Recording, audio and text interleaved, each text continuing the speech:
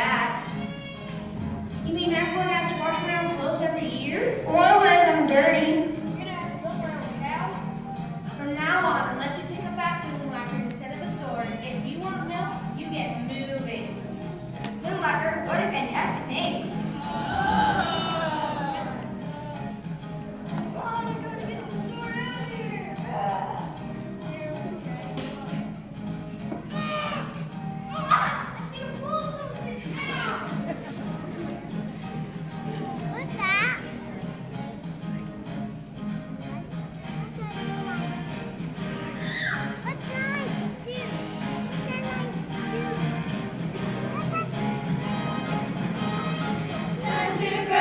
Shut it